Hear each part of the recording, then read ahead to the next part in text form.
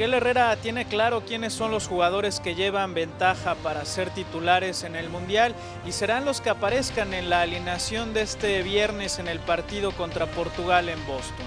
En una conferencia de prensa sostenida en el estadio Gillette después de la práctica del Tri, el Piojo aclaró que la alineación contra Camerún el día 3 en el debut del Mundial podría ser distinta. Sin embargo, también mencionó que de dar un buen partido estos 11 contra los lusos, seguramente repetirían.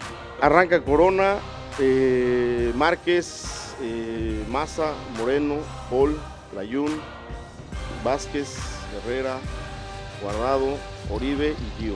Tratamos de llegar a este partido con, con la idea de, de, que sea el, may, el, mayor porcentaje o la base del equipo que, que pueda iniciar el partido con Camerún, eh, dependiendo también de cómo se, se comporten mañana y cómo, cómo, lo hagan. Yo espero que lo hagan muy bien porque me parece que son en este momento lo que, lo que mejor vemos dentro de la cancha. En la competencia, aunque es muy, muy, muy, muy, muy pareja, estos son los que van sobresaliendo. En este caso, la única situación es eh, en la parte de atrás, en la portería. Me tienen rompiéndome la cabeza para definir quién va a ser el que inicie el Mundial, porque los tres lo han hecho bastante bien.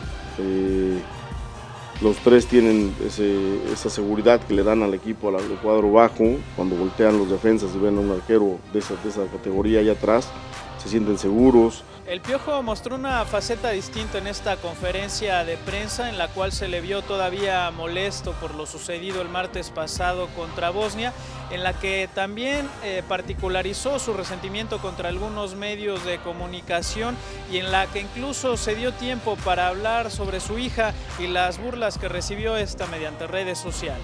Nadie dijo nada, en cambio, a mí sí me reventaron que porque si no me sé el reglamento, que porque pueden hacer los cambios que quieran, que porque pueden modificar a la hora que quieran. Entonces ahora quieren yo sí les dé la alineación y yo mañana si hago otra cosa, entonces al que van a madrear van a ser a mí. Entonces agarran de bajada a la pobre niña y digo, es una niña y yo la voy a salir a defender. Le dijo de groserías, me lo quisiera encontrar en el camino.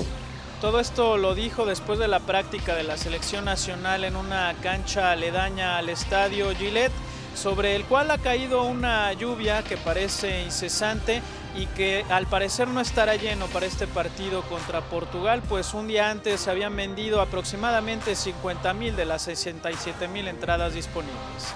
En la ciudad de Boston, con imágenes de Alejandro Esquivel, Juan Martín Montes, en línea con mediotiempo.com.